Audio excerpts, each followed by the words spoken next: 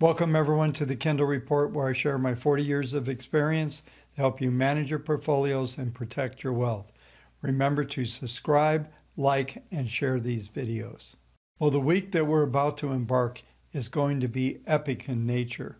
We have over 900 releases of earnings reports, we have GDP, and the FOMC meeting. Before I get into these details, let's just review last week's action quickly we finally started to see some rotation begin in the NASDAQ as the index peaked out and traded in a sideways range. We finished down 1.3% with the S&P only down 0.3 and the Russell down 0.4. I've been talking about this leadership change and I will continue to keep this dialogue going as I believe this is an important part of the markets to watch at this time. Not only do we have a substantial amount of information coming out this week from a fundamental standpoint, I'm also seeing a continuation of a positive rotation in our database as we had about 1,500 new buy signals on an intermediate level, pushing the intermediate database to 65% bullish. I'll go through all the details here shortly. As we begin to see these earnings reports come out, the heaviest reports on Tuesday and Wednesday along with the FOMC meeting. So we're going to be in overload this week. Most likely, we're going to end up in a very volatile state. One of the things that you need to know is that the Fed already knows what GDP is. They already know all of the numbers. Their meeting that they'll be having on Tuesday and Wednesday will summarize what their next actions will be. There's still a ton of people dislocated in this economy. We're a long ways from fixing it. In fact, the GDP is expected to show a 35% drop. The previous quarter was only 5%, but this is going to be the crux of the entire shutdown of the economy.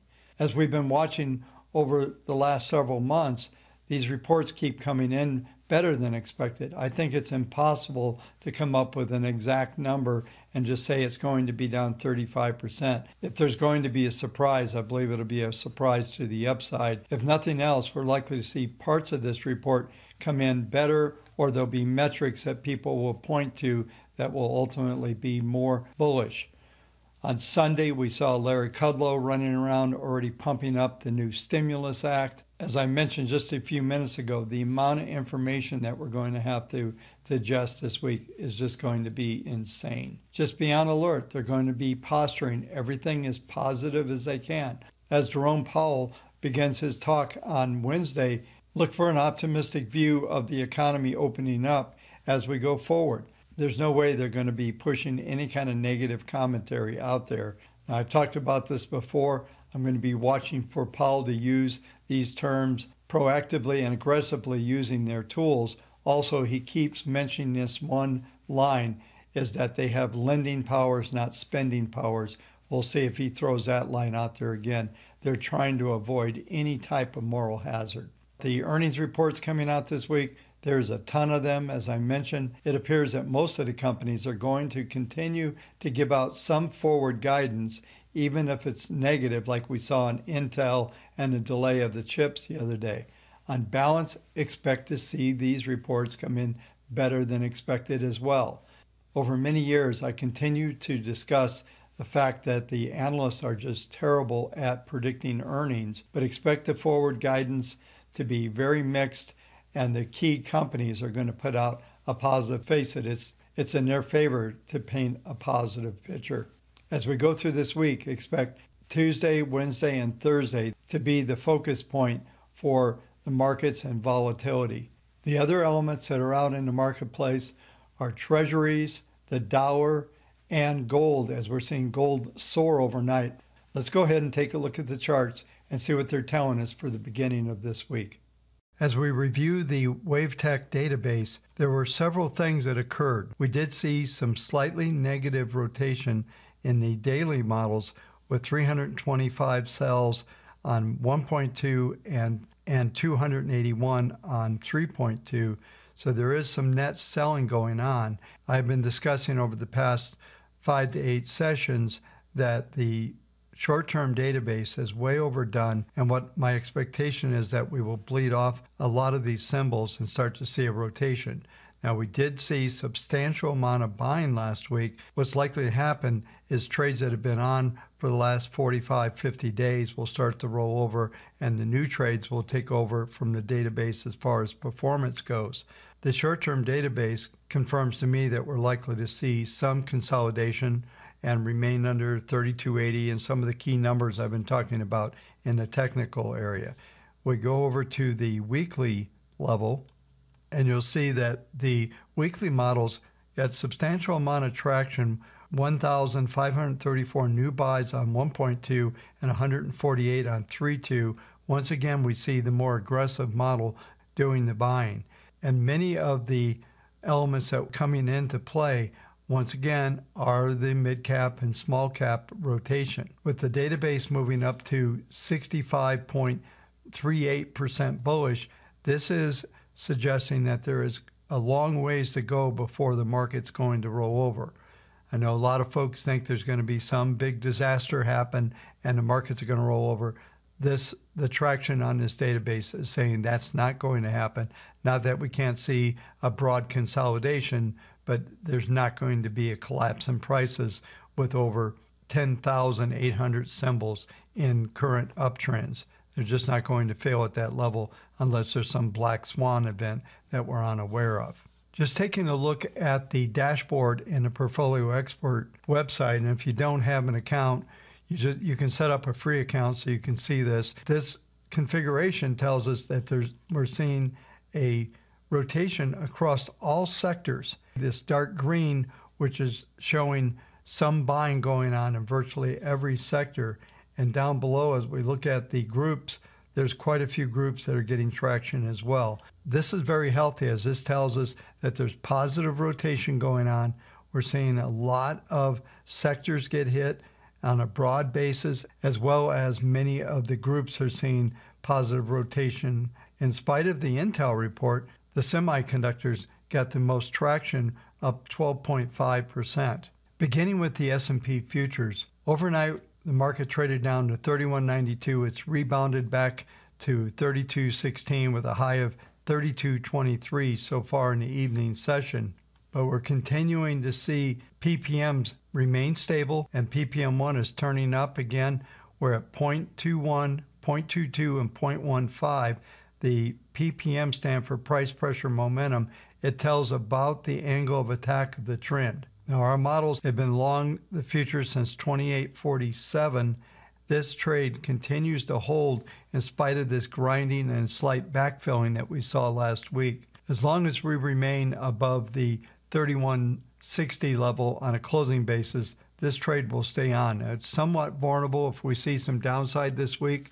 We're likely to see a lot of rhetoric around the backstopping of the economy, which should keep the markets reasonably stable looking at the cash S&P, we're seeing the upward slope that I was talking about over the last couple weeks finally turn down, but the PPM2 is still at a 0.25, PPM3 is at 0.15. Anything above 0.25 is an uptrend. It also indicates that there is only a 40% probability for the market to decline below the 21 period moving average, which is 3170, which goes along with what I was just talking about on the futures around the 3160 level. Looking at the weekly graph on the cash, my expectations are that we'll see an S2, which is 3172, and a possibility of an R2 as volatility should increase with all the news that we have coming out this week. A penetration of 3170 would signal a move down towards the 3148 to 31. 28, which is major support. I mentioned this in last week's commentary that a move down to 3130 would represent a major buying opportunity. Looking at the overnight NASDAQ futures on a weekly basis, we did come close to hitting the S1 number at 10,302. The probabilities, just like with the S&P, are for an S2 R2 range this week, which would give us a range of 10,126 to 10,781, as this market should continue to consolidate as the next several weeks unfold. This is the perfect environment for a sideways trading range. Next market to, to review is the 10 year Treasury. They continue to drift lower.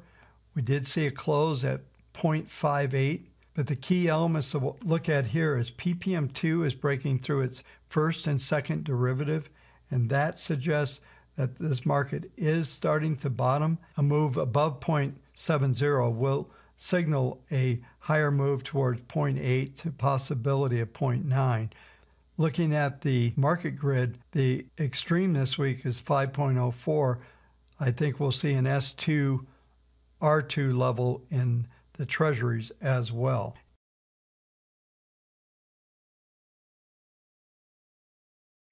Next market is the Dow. I've been discussing this 200 week moving average. We are we, we approached it on Friday. That number is 9384. It closed at 93.96. The low is 93.77. This is going to be a very key market to watch. A break under this level would indicate further acceleration. I discussed this on Thursday's video where our models are short on a daily, weekly, and a monthly basis. The one thing that is starting to happen that we'll watch closely, PPM2 is starting to turn up, but PPM1 is continuing it in an extreme negative trend with a minus 0.61, that will suggest that there's substantial resistance overhead. We're not likely to get back above the 98.50 level at this time. On a monthly graph, we saw it trade through its extreme, which typically indicates that we're going to see some rebound back into the range as we finish this month. This is the final week of July. There's going to be some squaring of positions across the board. The final market that we'll cover tonight is gold. Now, gold has had a 1.2 buy signal since 1728 back on 619. This was the last signal. We're seeing some extreme acceleration with PPM1 at 0.64 ppm 2.40 and ppm3. Taking a look at the market grid, the, the RXT Extreme was at 1927. We're currently trading 1938. A close above that level would indicate a two to three day sideways action pulling back into the range. We'll see how it closes on Monday, but this could be a climactic move after the last five days surge to the upside. Looking at the market grid for the monthly, you'll see the RXT is 1945, the high's been 1938 overnight. So we're trading right at the extreme for July. So everything's maxed out at this point in time, but we are seeing amazing acceleration with PPM1 at 2.68, PPM2 2.11, and PPM3 at 1.05. This type of momentum suggests there's likely to be at least another six to 10 months in this trend before it will be close to topping out. Going to the weekly chart, you're going to see a sharp acceleration on PPM1, but also there are three objectives to the upside. I discussed these last week. They're 1989, 2108, and 2182.